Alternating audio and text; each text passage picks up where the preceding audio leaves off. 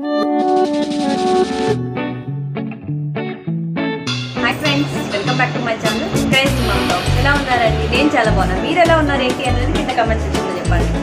శ్రావణ మాసం వచ్చేసింది. శ్రావణ మాసం తర్వాత ఇంకా శ్రావణ మాసం స్టార్ట్ అయిన వెంటనే ఒకదాని తర్వాత ఒకటి మనకి అన్ని ఈవెంట్స్ అన్ని పూజలు వ్రతాలు అన్ని ఈవెంట్స్ అన్ని బాగా స్టార్ట్ అవుతుంది శ్రావణ మాసం అయిపోయిన వెంటనే మనకు వచ్చేసి నవరాత్రులు స్టార్ట్ అవుతుంది నవరాత్రులు అయిపోయిన తర్వాత దీపావళి దీపావళి తర్వాత కార్తీక మాసం అన్నీ ఒకదాని తర్వాత ఒకటి ఫుల్ ఫెస్టివల్స్ ఇంకా మన ఫెస్టివల్ సీజన్ స్టార్ట్ అయిపోయింది అన్నట్టు.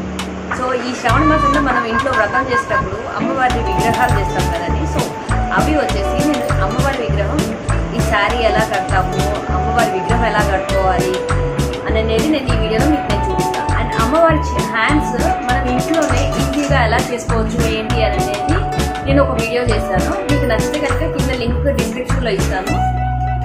చాలా ఈజీగా చేసుకోవచ్చు అండి చాలా బాగుంటుంది. ట్రై చేయండి. మీకు డిస్క్రిప్షన్లో ఇస్తాను. ఒకసారి చెక్ చేసి కుదిరితే ట్రై చేయండి. హ్యాండ్స్ ఈజీగా మనం ఇంట్లోనే చేసుకోవచ్చు.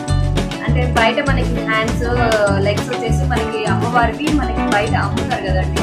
సో ఇంట్లో మనం చేస్తే మనకి ఈజీగా చేసుకోవచ్చు. మన దగ్గర ఉన్న మెటీరియల్తో వెరీ లెస్ కాస్ట్లో మనకి ఈజీగా ప్రిపేర్ చేసుకోవచ్చు. కాకపోతే ఏంటంటే మనం ఒక జస్ట్ ఒక టెన్ మినిట్స్ టైం అనేది దానికి కేటాయిస్తే చాలండి. మీరు ఈజీగా ప్రిపేర్ చేసుకోవచ్చు దాన్ని. సో దాని లింక్ వచ్చేసి మీకు నచ్చితే నేను డిస్క్రిప్షన్లో ఇస్తాను.